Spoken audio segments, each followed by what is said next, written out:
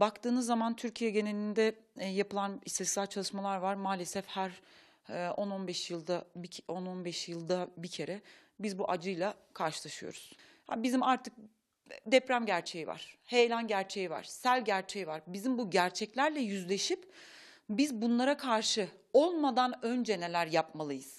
Ya biz nasıl yanlış yer seçiyoruz? İşte Maraş'ta gördük. Maraş'ta bir yer hiç yıkılmazken ya doğru yer seçiminden dolayı ovadaki olan yerlerin hepsi yıkıldı. E, demek ki biz bir şeyleri baştan yanlış yapıyoruz. Biz bunları görüyoruz. Gördüğümüz halde niye aynı yanlışları tekrarlıyoruz? Biz toplum olarak şunu yapıyoruz. Kendimizi mükemmel hissediyoruz. Hayır. Her birey, her bilim adamı da, her müteahhit de, her kişi de kendini ilk başta bir eleştirmesi lazım. Ee, Türkiye'de bir deprem haritamız var. META büyük bir emek sarf etmiş, bir diri fay haritası oluşturmuş. Yaklaşık 473 tane bu diri fay haritasında fay var. Bunlar deprem üretme potansiyeline sahip olan faylar. Bunun yanında bir de bizim sismik boşluk dediğimiz yani uzun süre deprem üretmeyen ve deprem büyük deprem üretme potansiyeline sahip olan faylar var. Şimdi bunlara dikkat çekiliyor. Pazarcık segmenti de bu şekildeydi. Geldiğiniz zaman mesela Bingöl'de 7 su segmentinde işte Ovacık fayında Malatya fayında deprem olması bekleniyor. Niye? Çünkü diyor ki siz bir çalışma yapıyorsunuz. Mesela biz Van Yüzücü Üniversitesi olarak nerede? Balıklı Göl'de. Çaldıran'da bir projemiz vardı. Proje kapsamında ne yaptık? Dedik ki arkadaşım Balıklı Göl bundan yaklaşık e, 600 yıl önce en büyük depremini üretmiş. 600 yıldır dep- büyük deprem üretmemiş. Demek ki bunun deprem potansiyeli var. Bakın burası önemli diyoruz.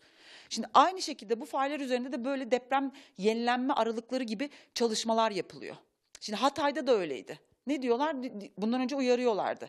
Aynı şekilde Yüksekova, Şemdinli fay zonu için de geçerli. Bakın bu bilimsel olarak ortaya konmuş. Demiş ki arkadaşım diyorlar ki size bu fay deprem üretme potansiyeline sahip 7 ve üzeri.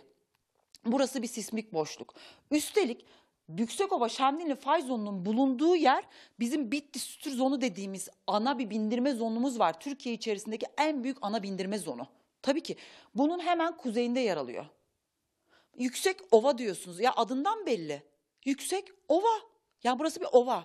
Ya Maraş'taki örnek Maraş'a giden insanlar görmüştür ya. Ya televizyon kanallarının hepsinde gösterildi. Zemin iyiyse herhangi bir şey olmaz. Neden? Çünkü deprem dalgaları geldiği zaman ben burada bilimsel olarak söylemeyeceğim. Büyütme dediğimiz bir olay var. Ne yapıyor? Alüvyon zemin depremi hissettiğiniz şeyi büyütüyor. Büyüttüğü için de gevşek malzeme. O yüzden daha çok sallanıyorsunuz, daha çok yıkılıyorsunuz. Şimdi siz ya sağlam zemin düşün sağlam ya. Sağlam yani bu kadar basit. Biz niye yanlış yer seçimi yapıyoruz? Yüksekova'ya baktığınız zaman Yüksekova'nın zemini bataklık. Yani bataklık içerisinde. Ha, Yüksekova'nın her yeri mi riskli? Hayır. Bizim Yüksekova'da çalışmalarımız var. Ee, Şemdinli'de çalış. Şemdinli'ye gidip baktığınız zaman Şemdinli daha çok dağlık kesimlerde. Tamam mı? Yani o deprem orada olduğu zaman Şemdinli'de kolay kolay bir şey olmayacak. Çünkü Şemdinli'nin yerleştiği yer kaya zemin çoğunlukla. Ama Yüksekova'nın özellikle ova kısmına baktığınız zaman ovadaki yerleşim yerleri çok büyük risk altında.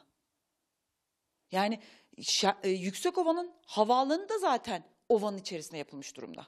E, yapılacak çok şey var. E, şu anda bildiğim kadarıyla Yüksekova'da çalışmalar başlatıldı.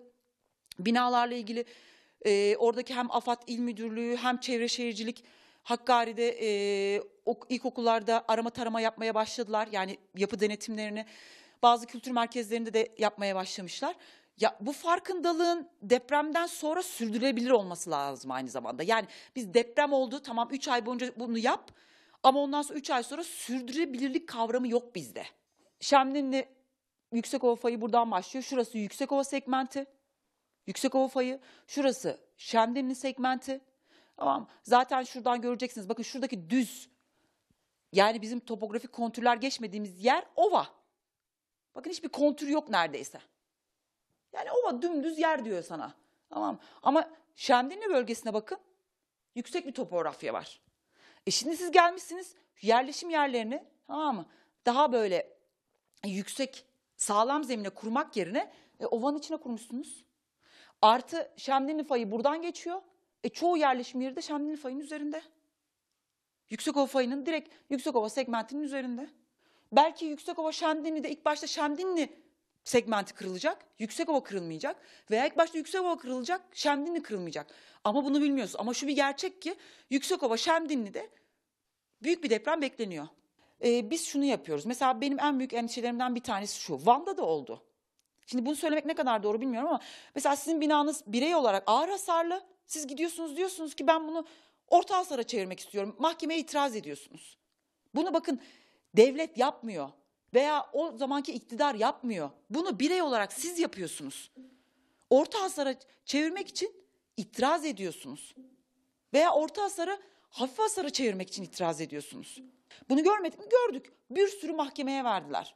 Benim binam orta hasarlı değil de yanlış rapor verildi de bilmem ne de ortalık kıyamet alanına döndü. Mahkemeye bir sürü dosyalar gitti. Hayır arkadaşım devlet yaptırım koyacak. Diyecek ki benim bilimsel çalışmada eğer ağır hasarlıysa tekrar bilirkişi atacak. Ağır hasarlıysa ağır hasarlı olarak kalacak.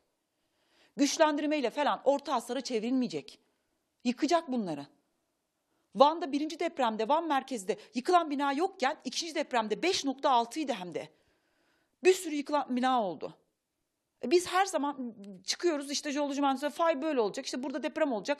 Ya hayır insanlar artık bazı acı gerçeklerle yüz yüze kalması lazım. O binada eğer siz ağır hasardan orta hasara çevirmişseniz o binada ölen her kişiden günah sizin boynunuza. Her kişiden siz sorumlusunuz.